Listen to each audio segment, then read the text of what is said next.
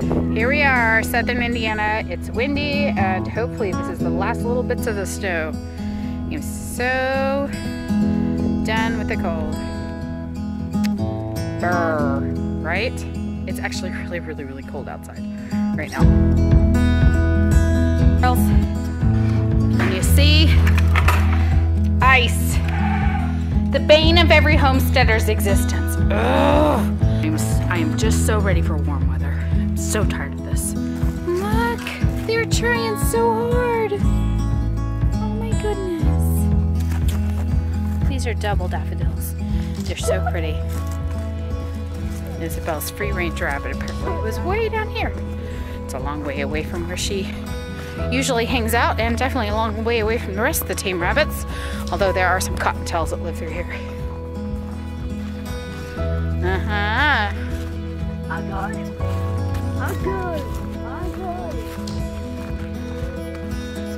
I picked a few of these. I'm gonna see if I can force them.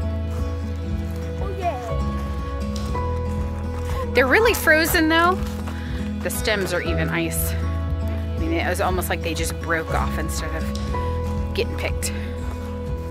See how those black raspberries? They're kind of a pain to get to in the spring and summer, but they're tasty. Hi everyone. So recently a few friends have asked me about my seeds and where I start them. And so they're behind me here in the south facing window and I'm going to show you that. But I also wanted to explain that this is supposed to be my sewing room. And as you can see I mean there's some machines back there but everything's a mess in here. I don't think I've even sewn in this room yet. I still have boxes packed and I have boxes that aren't even here. They're still at the other house but this has sort of become my all the things room for all my hobbies. Seed starting and my sewing. I even have my face painting stuff up here because it's currently slow season for me as a face painter and so instead of having everything piled up in my dining room right close to the door I have it up here for now. And some soap that's curing. So there's a lot going on in this little space. You can see here um, my wagon for my face painting, some of my face painting supplies, my chair, table, my sign. Boxes of fabric which have been tore apart because I was looking for fabric. So excuse the mess so, you know this is uh, definitely needs to be cleaned up. See I have uh, a box of soap that has cured up here and is ready to be put away. On this wall here I could put another shelving unit. I have not done that yet because I will need all grow lights there this is rough enough as it is because as you can see things are leaning but I'm actually getting ready to pinch these are Floret Farm sweet peas. Um, and my friend Katie from Simple Farm asked me today, she said, have you pinched them yet? And I said, no, I haven't pinched them yet. And so we talked about that a little bit. I'm not even sure where to pinch this one. I mean, because this is the first set of leaves. Hmm, that could be interesting. I may have to ask her about that. But you can see like all of these lettuces and Swiss chard, they really need to go out or be potted up and um, it's so cold. I mean, you can see there's still snow out on the ground out there. I have all my brassicas and stuff up here still that need to be transplanted. This is actually uh, some dahlias, but they're not doing anything yet. Praying that they come up. This is a, dahlias are a new thing for me. Um, I started zinnias. I said I wasn't going to start zinnias, and most of those little sprouts there are zinnias. Although down here, those are thousand head kale. Yeah, it couldn't resist. I think that I have ordered from Baker like half a dozen times at least this year because I keep wanting to add more things that I hear about or I see. Down here, um, more stuff that needs to be potted up. Lots of them.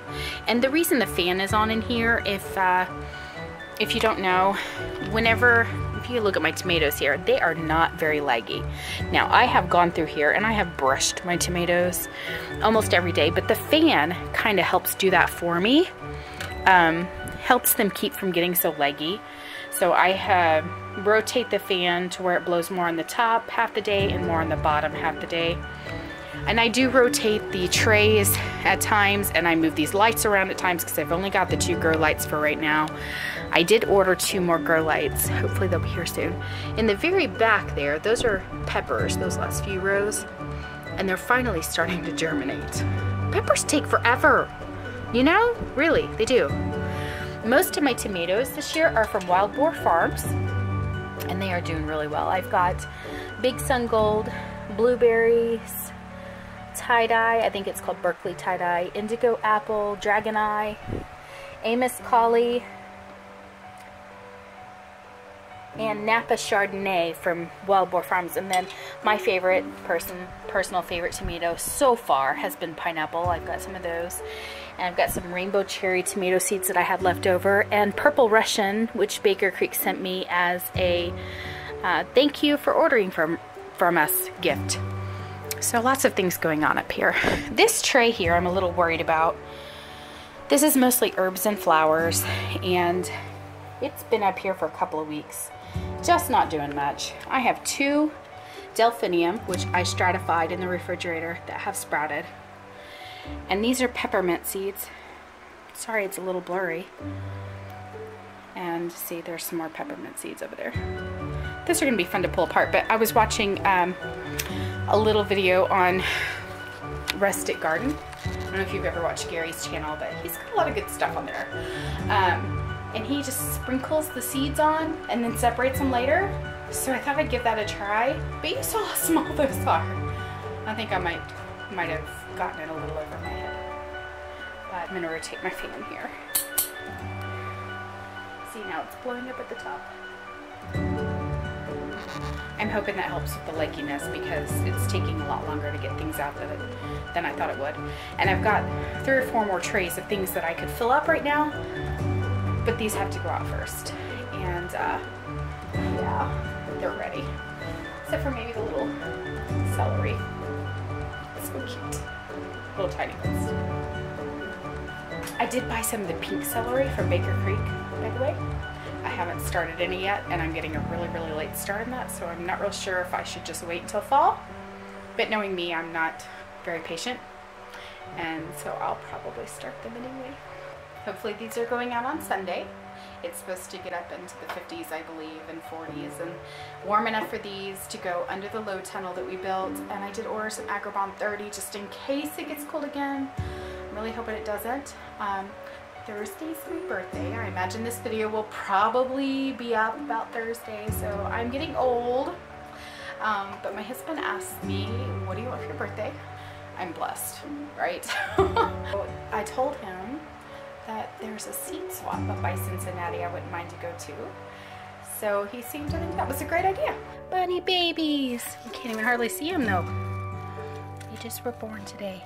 And she's trying to warm them up. She brought them inside. Okay, so it's cold and I'm gonna warm up now that I'm in and I'll see you next time.